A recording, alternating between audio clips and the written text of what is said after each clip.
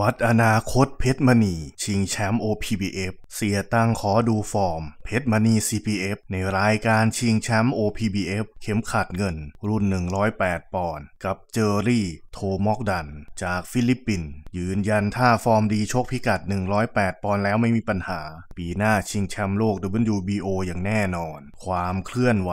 ศึกยอดมวยโลก OPBF จัดโดย บริษัทเพชรยินดีบ็อกซิ่งโปรโมชั่นจำกัด ซึ่งจะมีขึ้นในวันศุกร์ที่ 20 ธันวาคมนี้ ที่เวทีมวยชั่วคราว โรงเรียนวัดม่วง เขตบางแคกรุงเทพ ช่อง7 HD ถ่ายทอดสด เวลา 13นาฬิกา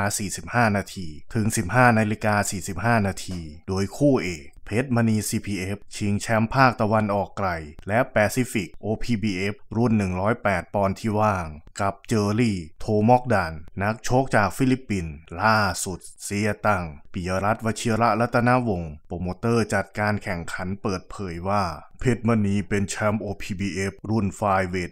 112 ปอนด์ที่ปรับ weight ลงมาชิงในรุ่น 108 ปอนด์หรือก่อนหน้านี้ขยับขึ้นมาจากรุ่น 105 ปอนด์ซึ่งการชกในพิกัด 108 ปอนด์นั้น ผมยังไม่เคยเห็นมาก่อน หากการชกครั้งนี้เพชรมณีโชว์ฟอร์มได้สวย ทางเพชรยินดีจะ confirm หนุนให้ชกชิงแชมป์โลก WBO รุ่น 108 ปอนด์กับเจ้าของเข็มขัดชาวเม็กซิกันในปีหน้าอย่างแน่นอน ซึ่งก่อนหน้านี้ได้มีการทาบทามพูดคุยกันไว้แล้วพอสมควรนั่นเอง เสี่ยตังค์กล่าว